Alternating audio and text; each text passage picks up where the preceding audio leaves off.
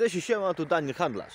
E, dzisiaj będzie króciutki poradnik jak odpalić diesla na mrozie, a właściwie jak przygotować samochód dieslu, żeby odpalił na mrozie. Punkt pierwszy. Co jest chyba najważniejsze? Akumulator. Diesel potrzebuje trochę więcej mocy, żeby odpalić. Eee, potrzebuje takiego przemielenia. Eee, wiecie, jak macie mal, na przykład malutki benzynowy, tam jakiś skorca cienia, coś takiego, tam 30 paru ampero, amperogodzin i wystarczy. Dla diesla nie. Dla diesla to tak naprawdę minimalnej ilości, jak dla mnie. To jest około 68-72 amperogodzin. Tutaj mam wstawiony 60. Eee, tylko, że to trzeba pamiętać, że e, samochód 91 roku ma trochę mniejszy pobór energii, po prostu nie pobiera na nic oprócz samego silnika, samego, samego przemielenia, samego e, obrotu, tak? Akumulator. To jest rzecz pierwsza i najważniejsza tak naprawdę, bo jeżeli będzie kiepski akumulator, cała reszta nam nie pomoże. E, Pamiętajcie, że akumulator traci dosyć dużo e, swojej pojemności już po 2-3 latach od nowości, od zakupu. E, po 5 latach jest około 70%, zależy też od, od tego jak on był traktowany, w jakich warunkach, co za firma. Może być dużo, dużo mniej tego akumulatora niż się oczekuje. Ja na przykład mam tutaj warte E, nie wiem, to jest rok. Rok, rok, rok, nie wiem który rok. Nie mam pojęcia, który to rok produkcji, ale w każdym razie jeszcze jakoś kręci. W tej chwili mamy minus 15 stopni na dworzu. W nocy było minus 22 stopnie.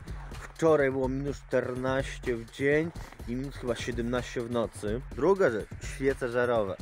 Pamiętajcie, że jeżeli macie troszeczkę nowsze autko, nawet jeżeli macie TDI, e, będzie Wam się świeciło nagrzewanie świec żarowych. Jeżeli będzie świeciło się ciągle, czyli na zapło... Boże, e, samochód będzie już, no że tak powiem, chodził, a nadal będą świeciły się świece żarowe. Pamiętajcie, to jest znaczy błąd. Może ono nie podgrzewa, nie dogrzewa. Któryś czujnik jest nie tak.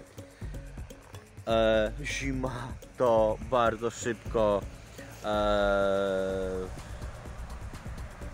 a i wróćmy jeszcze na chwilę do akumulatora. Przy minus 17 stopniach akumulator ma 1 piątą mocy tego, co ma w swoim najwyższym e, tym, czyli około 27 stopni na plus.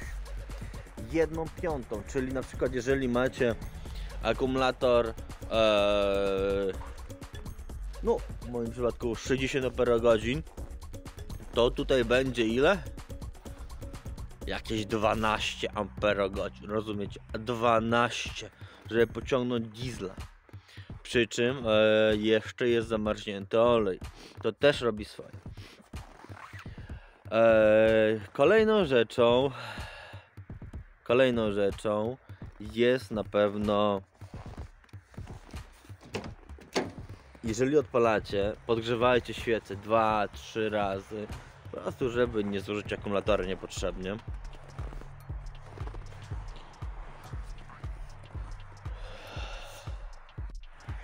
Kolejną bardzo, ale to bardzo ważną rzeczą, która mnie właśnie dzisiaj też zaskoczyła e, w samochodzie trochę, trochę nowszym, e, bo już sprzedanym e, w Opelku z 2011 roku i to może właśnie dlatego i zaskoczyło.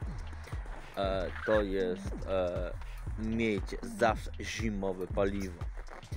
E, co prawda zima znowu zaskoczyła, tak, bo dotknął nas mróz, śnieg w styczniu, czyli znowu zaskoczenie. Ale o co chodzi?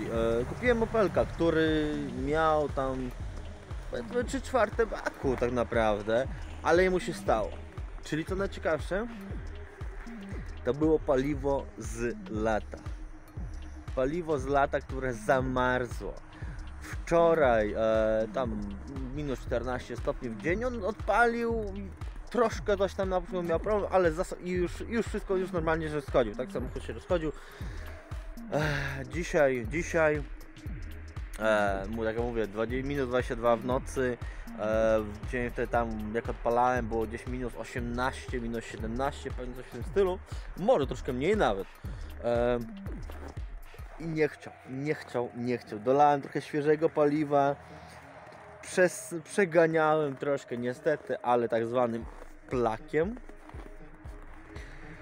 E, No i w końcu odpalił, jak już zasł tego paliwa, bo dolałem świeżego, tak? 10 litrów tam do pół zbiornika, to jest Corsa, to powiedzmy tam 30 litrów, dolałem 10 litrów świeżych, może coś się wymieszało, może trochę się nagrzało, odpalił. Ale pamiętajcie, że jeżeli macie zimę, jest diesel elektryczny, lejcie diesla ar- arktycznego, naprawdę Wam pomoże. No więc co? Najważniejsze rzeczy, czyli akumulator, czyli świece. A, pamiętajcie też o, taką, o takiej rzeczy jak filtr paliwa. Diesel to jest niezmiernie ważna rzecz. W benzynie tam różnie bywa, ale w dieslu jest bardzo ważną rzeczą, bo jeżeli diesel właśnie zatyka filtr paliwa i z tego się zaczynają problemy. Po prostu paliwo jest, a paliwa nie podaje. No i w sumie tak z, z Opelkiem tak to i wyglądało, że jakby się kończyło paliwo. I na koniec wam pokażę taką rzecz. Fakt, że tutaj nie ma artycznego dieselka, ale to jest samochód. Autko 30-letnie, równo 30 lat w tym roku ma. 30 lat rocznikowo. Akumulator akumulator świeży tam naładowany. Raczej kiszka z niego będzie, ale, ale trzyma. E, tryski są w super stanie. Co najciekawsze, nawet nie ma żadnych wycieków.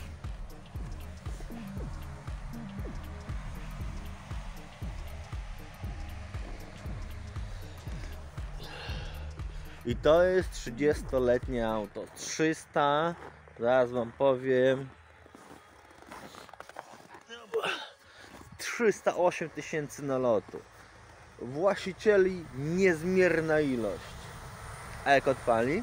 Ma naciśnięty ręczny.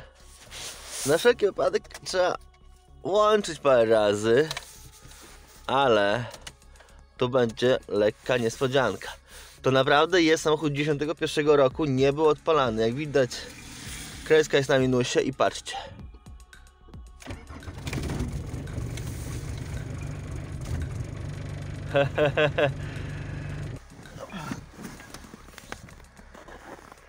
No, jeżeli jest wszystko ok, samochód będzie odpalał jak na tym filmiku. Jeżeli instruktor się spodobał, stawiajcie komentarze, łapki w górę, subskrybujcie.